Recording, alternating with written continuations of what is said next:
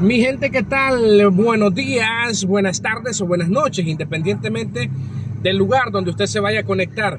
Miren, ve, hago este video y no le hablo a la señora todavía porque quiero que ustedes vean y a ver si la reconocen. Antes de, de, de, de decirles quién es, quiero ver si la reconocen.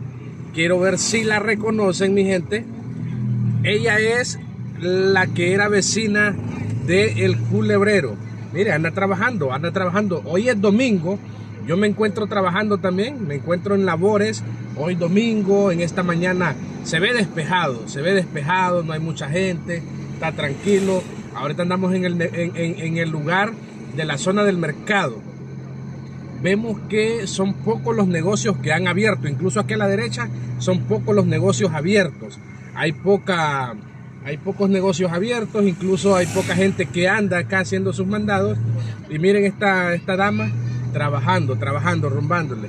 Amiga, ¿cómo está? ¿Qué hay de bueno? Anda trabajando. ¿Y ahora dónde vive? Pero siempre por allá al fondo. Mire cómo anda, anda trabajando la, la, la, la, la señora ahí. Miren cómo anda trabajando, miren, ¿ve? Un tremendo sol. Ahorita la temperatura creo que ronda la temperatura de, de, de, de la calor y todo eso. Creo que ronda en, en unos que en unos 35 grados. A mediodía en punto la temperatura se pone más fuerte. A mediodía en punto la temperatura se pone más fuerte, más y más fuerte.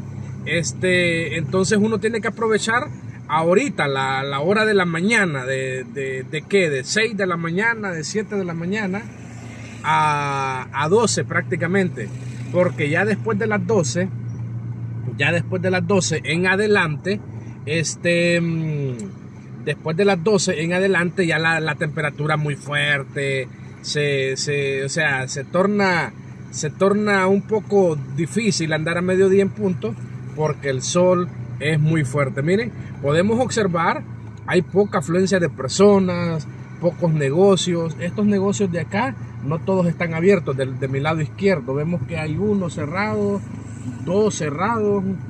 Veo dos negocios cerrados a mi lado izquierdo y a mi lado derecho casi todos están cerrados. Casi todos están cerrados. Entonces miren esa mujer anda rumbándole. Creo que anda con un hijo, ¿ves? Ese hijo anda anda anda ya medio asoleado ahí con todos los poderes.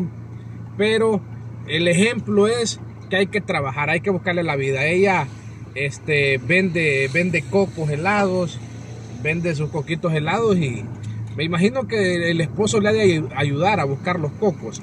Pero imagínense, una mujer trabajadora que busca, busca la manera, busca la manera de de conseguir, de, de, conseguir el pan de cada día, ya que son pocas las personas eh, beneficiadas, son pocas las personas con suerte de que les den todo, de que les manden dinero, les den, les den comida, les den ropa, les den casa.